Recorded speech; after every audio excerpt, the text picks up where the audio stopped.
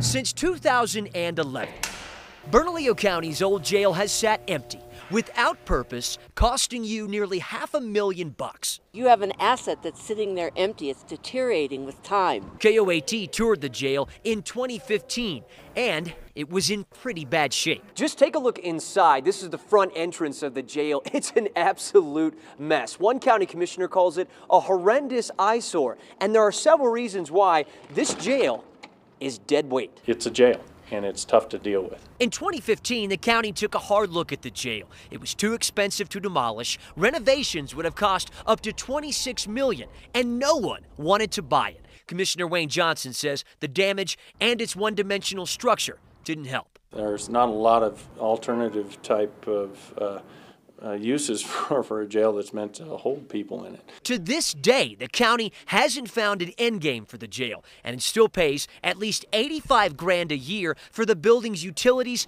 and insurance.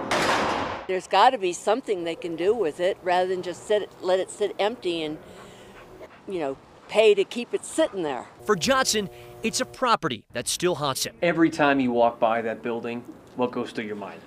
Gosh, I wish I could find somebody to sell it to. Um, we could that we could do something with this building. Matt Howerton, KOAT, Action 7 News.